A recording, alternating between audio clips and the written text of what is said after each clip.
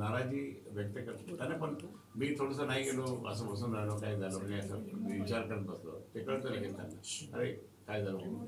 ती नाराजी कळते नाराजी आपोआप त्यांना कळते. आणि त्यामुळे ते बोलून गेलं तरी सांगतात. थँक्यू नाही ते. त्यांचं काही चूकच नाही. जसं म्हणजे. आणि एकदा पक्षात निर्णय झाला तर निर्णय झाल्यानंतर मग काही हे पण दुसरा भाग बाब बाब बाब अशी याच्यामध्ये की तुमचे जे कार्यकर्ते आहेत तुम्ही तुमचं स्वतः सोडा तुमचं काम इतर सगळं तर तुमच्यावर कुठंतरी अन्याय झालाय असं वाटतो का तुम्हाला? नाही आता कसं आहे की आता प्रत्येक वेळेला हे महापालिकेच्या निवडणुकीच्या वेळेस आता रोज माझ्याकडे रोज लोक येतात ना. आमच्यावर अन्याय करू नका आमच्यावर असं करू नका तसं करू आम्ही त्यावर काम करतो. त्याच वाढण्यात दुसरे चार जण असतात ते पण म्हणतात आमच्यावर नाही हे मनामध्ये असतं ते तसं परंतु ते त्यांची नाराजी काढावी लागते. ती नाराजी लागते अशा प्रकारचं वातावरण आता नाही आता आम्ही इतक्या वर्षापासून मी निवडणुका लढतो लढवल्या जिंकल्या सगळं काय काही पराभव पण झाले. पण त्या ठिकाणी सगळं सांभाळून घ्यायचं खूप अडचण आहे तुमचा हे जे राज्यसभेतला पत्ता कट झाला सर त्याला कोण कारणीभूत किंवा काय काय कारणीभूत असेल असं? नाही आता मी हे समजतो की तसं अं, आपण आपल्या नशिबाला दोष दिला पाहिजे. की आपल्या नशिबाला आपल्या नशिबातच ते काही तसं नव्हतं.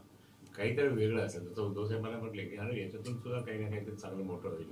आपण ही हे पण आपण मनामध्ये ठेवायचं की आपला तो शब्द दिलेला आहे तर त्या शब्दाप्रमाणे काही ना काही चांगलं होईल.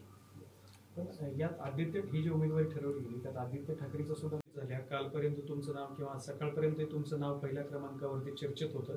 मात्र ते अचानक नाव तुमचं काढलं गेलं आणि एका काँग्रेसमधून आलेल्या व्यक्तीला सुद्धा ती उमेदवारी देण्यात आलेली आहे. काय वाटतं तुम्हाला याबद्दल?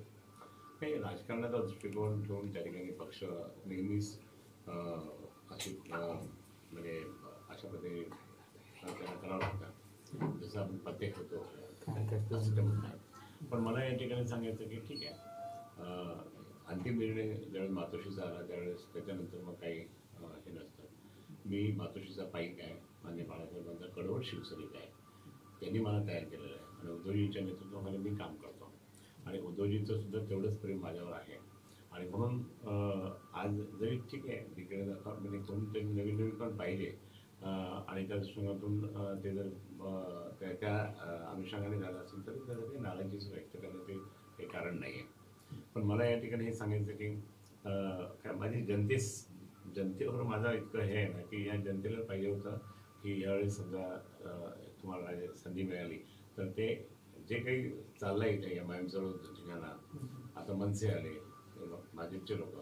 यांना बाकी आपल्याला अं, मुळतोड जबाब देण्यासाठी ठीक होतं. किंवा मराठवाड्यामध्ये फिरताना सुद्धा त्या ठिकाणी आपण शिवसेना संघटना वाढवण्यासाठी सुद्धा ठीक होतं. असं जनतेचं मत होतं. आणि म्हणून मी तर काही म्हणजे मी हे पदं घेऊन त्या ठिकाणी मी असं काही हे क- त्याचा लाभ घ्यायचा असं कधीच मी केलं नाही. आणि म्हणून मी फक्त ते पदं जरी असले तरी जनतेचंच काम त्या ठिकाणी केलं. हे मात्र मला सांगायचं. बाकी काही मी थोडंसं म्हणजे ठीक आहे नर्वसनेस येतोच. आपल्याला आपलं नाव असून नाही झालं तर नर्वसनेस येतोच. बाकी काही तसं काही नाही. परंतु तसा तसं एकदा तर मी ज्यावेळेस निकाल लागला होता लोकसभेचा उद्धवसाहेबच त्या एकदम त्यांनी सांभाळून घेतलं. मला दुसऱ्या दिवशी सुद्धा मला बोलवलं. बहिणीसाहेब बहिणी साहेब होत्या अं, रश्मी बहिणी होत्या. नंतर आदित्यजी पण आले आणि सगळे आले. हळहळ व्यक्त केली.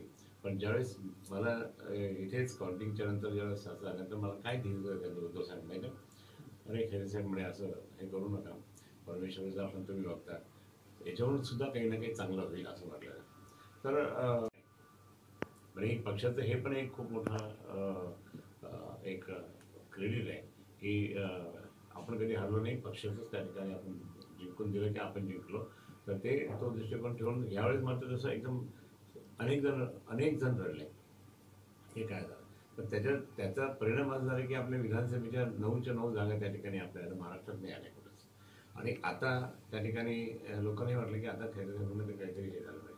पण एनिवे उद्धव साहेबांनी मला शब्द दिलेलाच होता त्यावेळेस नंतरही दिलेला आहे की काही ना काहीतरी तुमचं चांगल्या ठिकाणीच पुनर्वसन होईल आणि ते मी निश्चितपणे मान्य करेन. तुम्हाला सांगतो आदित्यजीचंही तसं काही त्याचं हे नाही आहे पण असं वाटतं की आपला पक्ष काही वेगवेगळ्या पद्धतीने नवीन नवीन लोकांना घेऊन सुद्धा आपण वेगवेगळ्या पद्धतीने पुढे जायचं प्लॅटफॉर्म जायचं.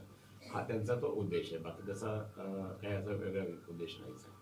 पण तिथून तुमचं कुठंतरी नाव डावलं गेलं अशी चर्चा आहे. नाही तिथून आता कसं असतं की त्यांच्याबरोबर जे नवीन नवीन म्हणजे चर्चेमध्ये बसणारे असतात त्यांच्यामधून त्यांची जी कल्पना जी होती त्यांची त्या कल्पनेच्या आधारे आपण असं म्हणू नये.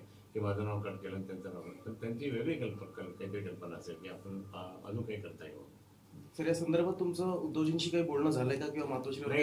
अजून नाही झालं पण आता म्हणजे अनिल देसाईचा फोन येऊन गेला मला. आणि होईल बोलणं असं काही नाही. तर दुसरा प्रश्न असा आहे सर की तुमचं एकीकडे पत्ता कट केलेला आहे आणि दुसरीकडे तुमचे स्पर्धक आहेत भागवत कराड भाजपमधले. त्यांना मात्र भाजपने उमेदवारी दिलेली आहे. मला तेच जरा थोडंसं खटकला भाजपने कसा डाव खेळला? अं, आता इथे खेळे नाही ना त्यांना तिकीट मिळत नाही. मग आपण आपल्या माणसात तिथे जावं म्हणजे आमचा जो संघर्ष एम आय एमशी आहे होतो. नाही ठीक आहे. आम्ही हिंदुत्ववादी आहोत. आणि त्या दृष्टीमधून जसं मी सांगितलं की राजा बाजारमध्ये तर मी दंगल झाली तेव्हा मी रात्रभर थांबून ती थांबवले. तर पूर्ण गुलमंडीपर्यंत जाळपोळ जाऊन अनेक नुकसान झालं होतं. अनेक जण ठार झाले असते. कारण एक जण माझा ठार झाला. तर असे अनेक जण ठार झाले असते. मग हे हे तिथे आम्ही मुकाबला करतो. आता मला नाही तर म्हणजे मग आपण हिंदुत्व कसं घ्यायचं? तर हा भाजपचा डाव होता म्हणजे आणि म्हणून त्या डॉक्टर करावे त्यांनी तिथं एम आय एमच्या अगेन्स्टमध्ये खासदारांच्या अगेन्स्टमध्ये त्यांनी त्यांना हे केलं. मग हे शिवसेनेला कळलं नाही सर. मग इथं तुम्हाला द्यावं हे हा डाव इथला. हे इकडचं राजकारण आहे. तिकडचं काय झालं? तर मग हे कुठंतरी जे राजकारण झालेलं आहे तर ते तुम्हाला अन्याय करणार आहे किंवा तुम्हाला दुर्लक्षित करणार आहे सर? नाही ते असं तुम्हाला वाटत असेल पण मला नाही वाटत. हे पक्षामध्ये चालूच असतात. आता आणि कमी जास्त कारण उद्धव साहेबांना सुद्धा पक्ष सांभाळायचा असतो. आणि सगळ्यांना सांभाळून घ्यायचं असतं. त्यांची परिस्थिती मनस्थिती काय होती मी जवळून पाहिला. मला पण कधी कधी असं वाटतं की बाबा आपण कशात राहताय साहेबांना? एकतर आघाडी सरकार आहे ही एवढी एक संधी तुम्हाला द्यायला पाहिजे होती ते मला असं वाटतं काही ना काही देते मला. मला पूर्णपणे आशा आहे की उद्धव साहेब मला काही ना काहीतरी देतील. आणि ते शब्द त्यांनी त्यावेळेस मी माझा परा निकाल लागल्यावर तर मला त्यांनी त्यावेळेस सांगितलं त्यावेळेस. समजा जर तुम्हाला उद्धव साहेबांनी काही ना काही दिलंच नाही तर काय? मी मी बाळासाहेबांचा कडवट शिवसैनिक आहे. मी मरेन तर ते भगव्यामध्येच. इकडे तिकडे जाणार नाही. तर काही लोक मुद्दाम अफवा देतात पण मी इकडे तिकडे जाणार नाही. मी मरेन तर शिवसेनेच्या त्या भगव्या याच्यातच मरणार आहे मी कडकडे जाणार आहे. आणि कधी पण मृत्यू येऊ शकतो. आधी आम्ही हार्ट पेशंट आहे काही होऊ शकतं असं काही. आणि म्हणून मी असा शिवसैनिक नाही आहे की तो काही नाही झालं की चालला इकडे परत येणार परत जायचं परत जायचं असं असं असं मी शिवसैनिक नाही आहे कारण मी एकमेव मी ज्या दिवशीपासून संघटना अधिकृतपणे स्थापन केलेली आहे त्या दिवशीपासून आतापर्यंत एक दिवस पण मी